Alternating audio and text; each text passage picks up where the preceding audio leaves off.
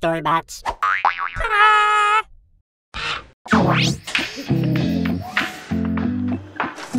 Do you see anything? The stars are out tonight. I'm a star. I'm a star.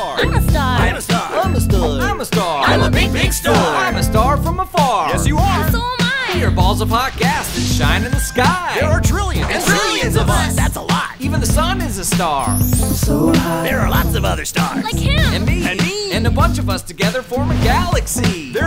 There's of galaxies. That's a star. Understand? There's more stars in space than all of Earth's grains of sand. And from land with your eye to the night sky display. you can see the Earth's galaxy. The, The Milky Way. Stars are different sizes. And we can morph. There are supergiants. Giants. Main sequence. And dwarfs. And we form constellations. Which are patterns of stars. Before GPS, that's how you know where you are. We're the Big Dipper. We're the Belt of Orion. We're the Gemini twins. We're Leo the Lion. People think we twinkle. But that's not true. The light's just playing tricks when it shines on you.